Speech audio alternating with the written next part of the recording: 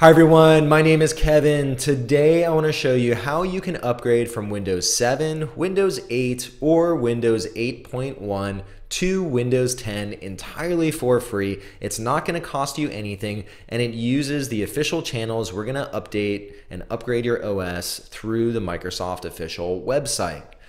Now, first off, why should you upgrade your operating system? You've had your computer running for a while. Is there really a reason to upgrade? Well, with Windows 7, it's a pretty old operating system. It's been around since 2009, so 11 years now. And just now in January 2020, Microsoft announced end of life for Windows 7. What that means is that Microsoft is no longer releasing any security updates or patches for Windows 7. That means if you're still running it, you're vulnerable to attacks, to viruses, and you probably don't want to deal with that. And hey, since you could upgrade for free, you might as well take advantage of that.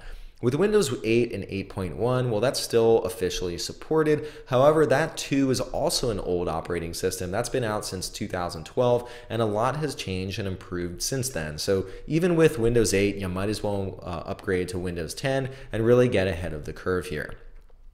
Now, there are a few different ways you could go about getting Windows 10. You could either go to the store, microsoftstore.com, and you could buy Windows 10, but it's going to run you about $139. If you'd rather save that money, well, you could get it for free online. And so enough talk, why don't we go ahead and I'll show you exactly how you can get Windows 10 for free. Let's jump on the PC.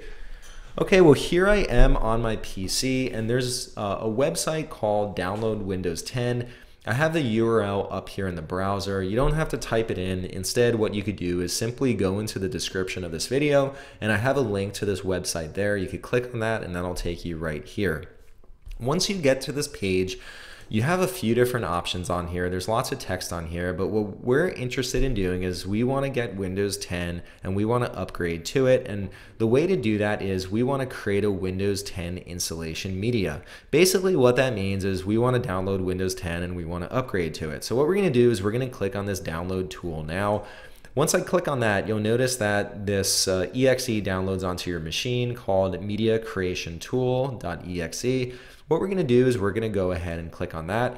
And now it's going to ask you if you want to allow this app to make changes to your device and it's signed by Microsoft. Uh, so we're going to go ahead and do that. Um, and now what this is going to do, this is going to kick off the upgrade process to Windows 10 and it's going to take a little bit of time to get this set up. It's going to download additional files as part of this. So that initial exe we downloaded just has the setup, uh, but then as you kind of go throughout the upgrade, it's going to download more files. The first screen that's going to pop up that's going to ask you to do something is you'll see the license terms and you can take a quick breeze through that and then click on accept. I don't know what I'm signing away there. There was a lot of text there, but seems reasonable enough. If I was running Windows 7, Windows 8, I already accepted something like that before.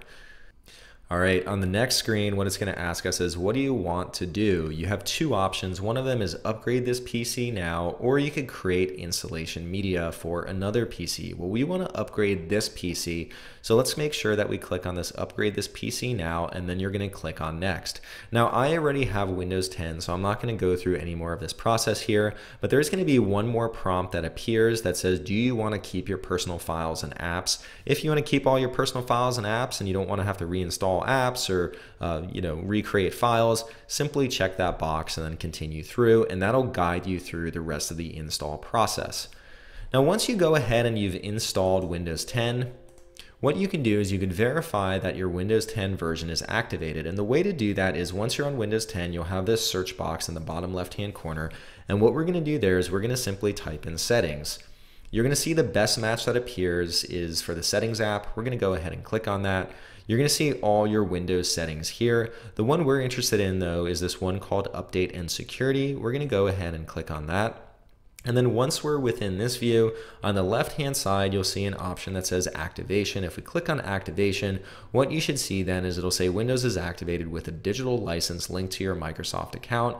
And if you were coming from Windows 7 Home, it'll upgrade you to Windows 10 Home. If you were coming from, say, Windows 7 Professional, it'll upgrade you to Windows 10 Professional. And really, that's how easy it is to upgrade and then make sure your version of Windows is activated.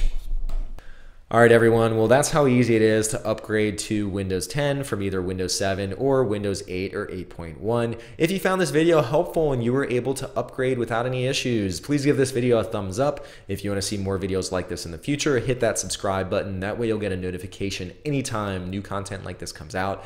If there are any other video topics that you want to see in the future, leave a comment down below. I read them all and I'll add it to my list of videos to create. All right, well, thanks for tuning in and I'll see you next time. Bye.